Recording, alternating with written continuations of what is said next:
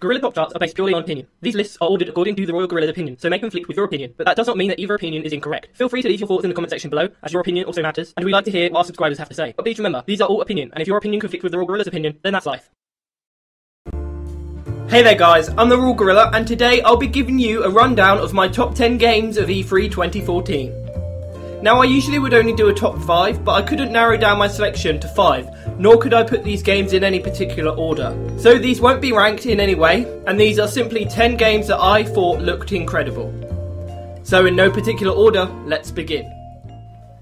Okay, so the first game I want to talk about is Evolve. Now, Evolve is shaping up to be the next Left 4 Dead. It looks like it's going to be a lot of fun with the humans versus monster gameplay. I love the way the systems work where each human has a special attribute to that character, whereas the monsters can combine different attributes to make themselves most powerful. It's a nice way of working where the monster has to be solo, whereas the players have to be a team. However, there's one thing I would say about this. I've noticed since the current gen started that there's been an increase in online only games. Just to name two Titanfall and Plants vs. Zombies. Now, I have a theory that when Microsoft originally announced the Xbox One as being always online, Developers saw this as a reason to create games which were online only. And I myself love single player games. So, especially with Evolve, I'd really like to see some single player. And I'd be quite sad if that's not the case. Because if, like me, you have no one to play with, then the multiplayer is going to get old pretty fast. But I'm really excited to see how it turns out. Okay, so next up we have Tom Clancy's The Division. Now, once again, we're returning to New York, and this time it's post apocalyptic. But this isn't zombies, this isn't war, this time it's a virus. It's not that original of an idea, but the way it's being created seems to be a step up from the competition. It looks like it's got the standard high quality gameplay seen in most Tom Clancy games, so it should be really nice to play. This is another game that seems to have a big focus on online play. However, more than Evolve, Tom Clancy's The Division seems to be a game that will be good to play solo as well as with a team. And one additional thing, this game looks beautiful. That's enough said. Okay, so sticking with Tom Clancy, we have Tom Clancy's Rainbow Six Siege. Now, I had a choice between putting Battlefield Hardline or this in the list, and I decided that Siege looked more interesting to me than Hardline. See, my problem with Battlefield Hardline, it just looks like more of the same Battlefield, just with extra game modes and different skins on the vehicles and characters. Whereas Tom Clancy's Rainbow Six The Siege looks like it could give us a really good cops and robbers experience. The trend's continuing with this game because we've got more cooperative online play, and for the Siege in particular, it looks like having some teammates that you can talk to is going to be really useful. So it looks like I'm going to have to get some friends before all these new games come out. Now, way back in the days of the Xbox 360 when it was fresh and new face, we had a lovely game, which was great fun, called Crackdown. Crackdown was about being a cop, but you were more of a superhero cop because you had like genetic enhancements and a powerful suit. And at E3 this year, they revealed the new Crackdown game, and it looks like more of the same. But don't get me wrong, that's not a bad thing at all. We didn't actually get to see any gameplay, it was just a pre rendered trailer, but that's enough to get me excited for it. One of the interesting things about the new Crackdown game is that it will be using the cloud to help run the game. This is supposedly to help it run better and for the graphics to look the best they possibly can. So we'll just have to wait and see how well that actually works. Okay, let's move over to Ubisoft now, with Far Cry 4. Now, if you've been on my channel for a while, you know that I love Far Cry 3. And I did loads of videos to do with it, including Sunday Night Fights, which were great fun to make. Now, Far Cry 4 is shaping up to look really good. At E3 this year, we got to see the first five minutes gameplay. We were introduced to the new antagonist of the game, which I can't remember his name right now. And it all looks really good, really exciting, and the gameplay looks like more of the great Far Cry that we love. Except this time we have elephants, gyrocopters, and co op play in the open world game. So all of that is just bound to improve on the great Far Cry experience that we all loved in Far Cry 3. Also, the new location of the Himalayas means we've got far more options when getting around and doing missions. So it'll be really interesting to see how the location reflects on the gameplay. Okay, so this next game I was actually quite disappointed with at E3, but I'm still excited for it nonetheless. The reason I was disappointed with it because we didn't actually see any gameplay, and it is of course Star Wars Battlefront. At E3, all we got to see was some footage of the developers working on the game. We got to see some small snippets of the actual game on computer screens, but hardly enough to satisfy our desire.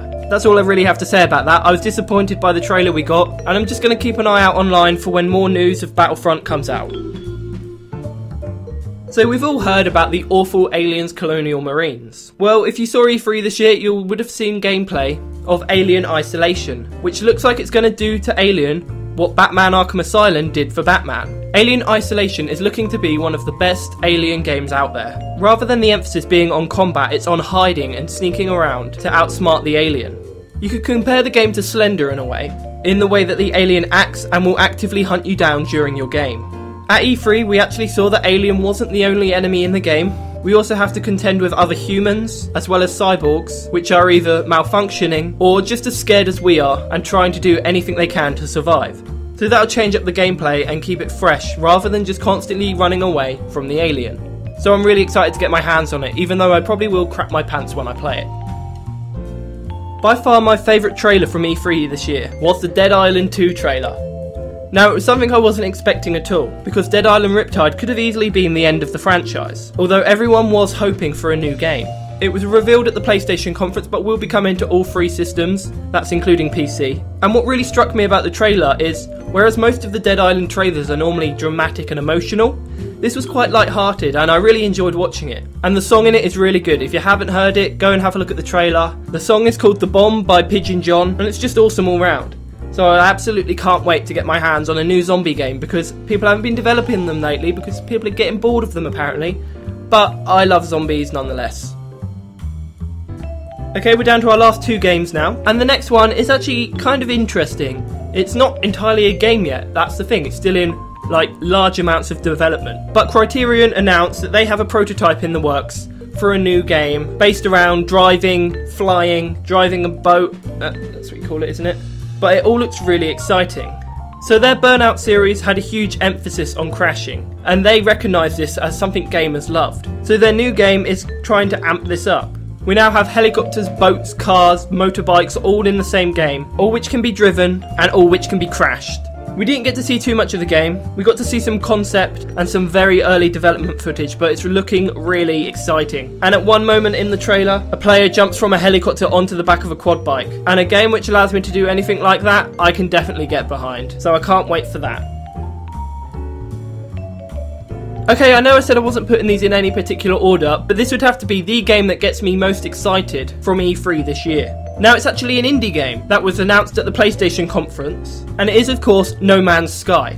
So, if you haven't heard of No Man's Sky, it's essentially a space exploration game where you have a spaceship and you can go anywhere you want. It's all procedurally generated, so it's always random and you'll never see the same thing twice. The great thing about this game is you can be flying in space one minute, fly down to a planet, land, get out of your spaceship, have a look around. There'd be giant monsters, all these weird alien creatures. You might find a base, you might find another spaceship, you might find friendly people, you might find enemies, and you do whatever you want in the game. A game like this gets me really excited. I could see this having the potential of Minecraft, just to have that worldwide following and almost limitless possibilities, meaning gameplay can last as long as you want. One of the great things about it is you choose how you want to play. If you want to go down to a planet and just look around and have an explore, that's fine, you can do that. If you want to go down to the planet and kill everything in sight, you can do that too. It's completely your choice. And I love games that are about choice. I love games about exploration, and I just love games about space. This will, without doubt, be my most anticipated game of the year, and I absolutely can't wait to get my hands on it when it comes out. So there you go guys, that was my top 10 games of E3 2014. I hope you've enjoyed the video, and in the comment section below let me know what games you found particularly exciting. As always guys, remember to like, comment and subscribe. I've been the Royal Gorilla, over and out. His name is Luke and he's more than your average gamer.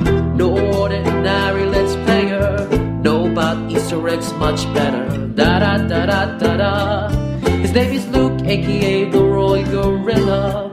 Even bigger than the giant Godzilla Follow him in every game he goes. Da da da da da da.